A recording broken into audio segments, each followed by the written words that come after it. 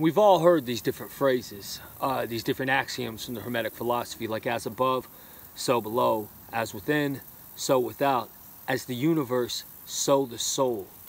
But what does that even mean? What is the astral plane? How do I reach it? What is an inner sanctum? What is a celestial sanctum?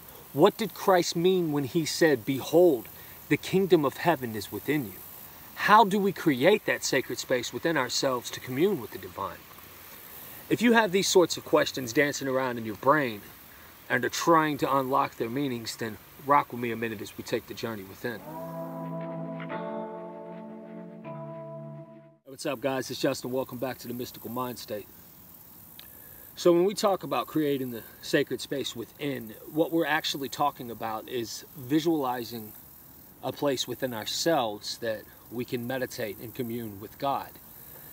Now, all of that sounds really, really difficult, but in my last video, I uh, lined out how to move beyond mindfulness by uh, using each of your senses as a way to achieve single pointed concentration. Because it's relevant to this video, I'm going to paraphrase and kind of run you through it very quickly once again. Uh, to, to visualize and really practice visualization, when you go out somewhere, uh, look at it, get a good picture of it in your mind, and close your eyes and recreate that image in your mind and keep doing this until you can recall it in your mind's eye with perfect clarity. Then you move on to the sense of smell. Like uh, I was in Lake Catherine State Park in uh, Arkansas, right? And they had pine there. So it's a really, really distinct odor, one that I happen to adore. So what I did is I closed my eyes and I breathed in the smell of pine, concentrating on only it until I became in union with that smell the same way I would if I was following the breath, or the same way I would if I was visualizing one of the names of God or aspects of God. And then there's a sense of hearing, right? You can literally just tune in on anything around you. Like I'm out in nature right now, there's there's bugs. I can close my eyes and just focus on those sounds, right? Eating is another place. You can really break down the flavor profile of the food and how it feels on your tongue. And uh, if you're lucky, you'll start seeing glimpses into the life of this particular fruit or vegetable or whatever it is you're eating, sometimes animals. But the reason we do that is because we can recall those moments with perfect clarity later. Some would call it euphoric recall. Mystically speaking, this is really the framework that we need for visualizing the sacred space within us.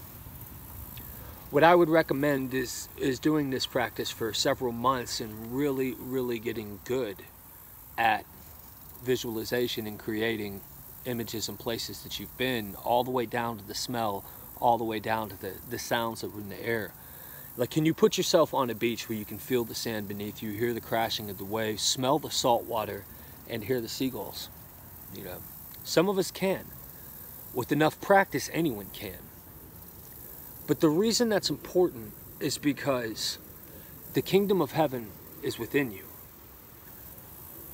We have an entire universe inside of us. All we have to do is still our minds and create these spaces within to unlock the ancient mysteries.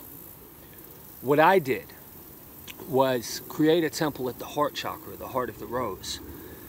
And I, I built it along the, the six point star, the Star of David, right? The mathematical precision just resonates with me. And inside this temple, there is a, a green flame burning on an altar.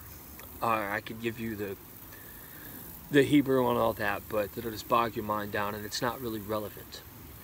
What is important here is I created this sacred space within my heart where I would go and I would meditate. And that is how I meditate to this day. Now, as your understanding grows, some other lessons will become relevant. So, you'll start to learn that there are different energy centers in your body that have different temples. There are different visualization techniques that go into each of these, and you can start to peer beyond the realm of senses altogether. And that's what I really want to get to. But in order to do that, I need to bring people up to speed and tell them how to recreate some of the steps that I have taken.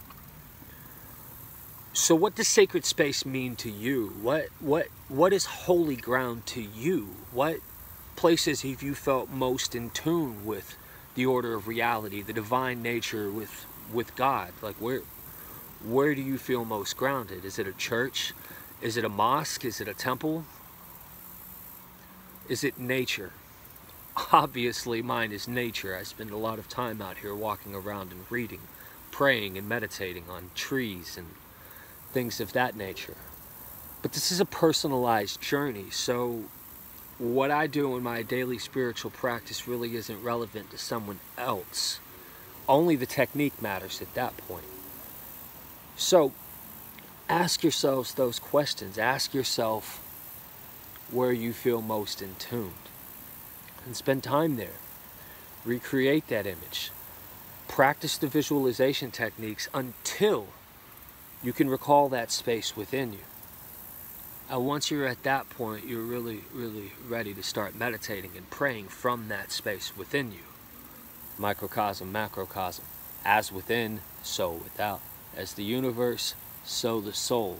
All of those old uh, axioms from the Hermetic philosophy will start making a lot more sense. All right, that's all I got, guys. Thank you for tuning in. Peace be with you all.